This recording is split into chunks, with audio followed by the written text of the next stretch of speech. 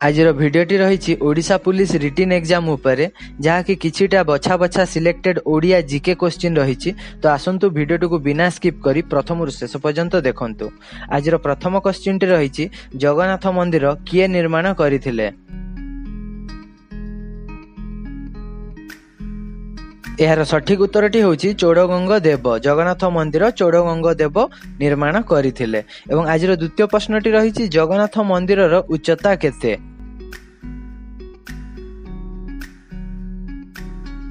ଏହାର ସଠିକ ଉତ୍ତରଟି ହେଉଛି ଦୁଇଶହ ଚଉଦ ଫୁଟ ଆଠ ଇଞ୍ଚ ଜଗନ୍ନାଥ ମନ୍ଦିରର ଉଚ୍ଚତା ଏବଂ ଆଜିର ତୃତୀୟ ପ୍ରଶ୍ନଟି ରହିଛି କୋଣାର୍କ ମନ୍ଦିର କିଏ ନିର୍ମାଣ କରିଥିଲେ? ଏହାର ସଠିକ ଉତ୍ତରଟି ହେଉଛି ନରସିଂହ ଦେବ। ନରସିଂହ ଦେବ କୋଣାର୍କ ମନ୍ଦିର ନିର୍ମାଣ କରିଥିଲେ ଏବଂ ଆଜିର ଚତୁର୍ଥ ପ୍ରଶ୍ନଟି ରହିଛି ସୂର୍ଯ୍ୟ ମନ୍ଦିରରେ କେତୋଟି ଚକ ଅଛି?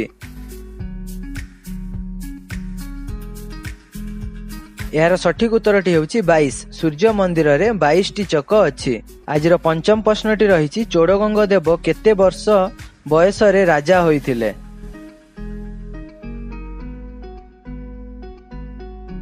ଏହାର ସଠିକ ଉତ୍ତରଟି ହେଉଛି ଦୁଇ ବର୍ଷ। ଚୋଡ଼ଗଙ୍ଗ ଦେବ ଦୁଇ ବର୍ଷ ବୟସରେ ରାଜା ହୋଇଥିଲେ। ଆଜିର ଷଷ୍ଠ ପ୍ରଶ୍ନଟି ହେଉଛି ଚୋଡ଼ଗଙ୍ଗ ଦେବ କେତେ ବର୍ଷ ରାଜ୍ୟ ଶାସନ କରିଥିଲେ?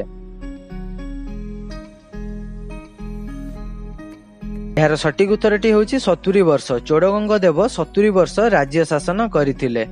ଏବଂ ଆଜିର ସାତ ନମ୍ବର ପ୍ରଶ୍ନଟି ହେଉଛି ସମବଂଶର ରାଜାମାନେ କାହାକୁ ପୂଜା କରୁଥିଲେ?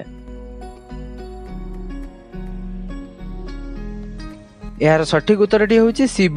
ସମବଂଶର ରାଜାମାନେ ଶିବଙ୍କୁ ପୂଜା କରୁଥିଲେ। ଆଜିର ଆଠ ନମ୍ବର ପ୍ରଶ୍ନଟି ହେଉଛି ସମବଂଶର ରାଜତ୍ୱ କେବେ ପ୍ରତିଷ୍ଠା ହୋଇଥିବା ଜଣାପଡ଼ିଛି?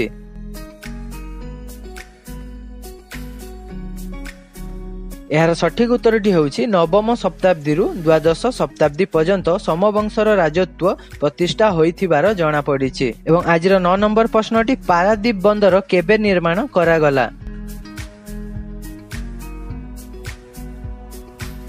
ଏହାର ସଠିକ ଉତ୍ତରଟି ହେଉଛି ଉଣେଇଶହ ଏକଷଠି ମସିହାରେ ପାରାଦୀପ ବନ୍ଦର ନିର୍ମାଣ କରାଗଲା ଏବଂ ଆଜିର ଶେଷ ପ୍ରଶ୍ନଟି ରହିଛି ସଂସ୍କୃତ ବିଶ୍ୱବିଦ୍ୟାଳୟ କେବେ ପ୍ରତିଷ୍ଠା ହେଲା?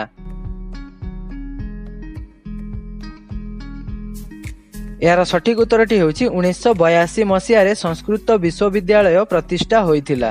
ଆଶା କରୁଛି ଭିଡ଼ିଓଟି ସମସ୍ତଙ୍କର ହେଲ୍ପଫୁଲ୍ ହେଇଥିବ। ଯଦି ସତରେ ହେଲ୍ପଫୁଲ୍ ହେଇଛି ତାହେଲେ ଭିଡ଼ିଓଟିକୁ ଲାଇକ୍ କରନ୍ତୁ ଏବଂ ଆପଣ ଯଦି ଆମ ଚ୍ୟାନେଲରେ ନୂଆ କରି ଭିଜିଟ୍ କରିଛନ୍ତି ତାହେଲେ ଚ୍ୟାନେଲଟିକୁ ସବସ୍କ୍ରାଇବ୍ କରିଦିଅନ୍ତୁ। ଚ୍ୟାନେଲଟି ସବସ୍କ୍ରାଇବ୍ କରିବା ଦ୍ୱାରା ଆପଣ ଆମ ଚ୍ୟାନେଲର ପୁରୁଣା ଭିଡ଼ିଓ ପାଇବା ସହ ନୂଆ ଭିଡ଼ିଓର ନୋଟିଫିକେସନ୍ ପାଇପାରିବେ। ଭିଡ଼ିଓଟିକୁ ପୁରା ଦେଖିଥିବାରୁ ଧନ୍ୟବାଦ। ପୁଣି ଦେଖା ହେବା ନେକ୍ସଟ ଭିଡ଼ିଓରେ।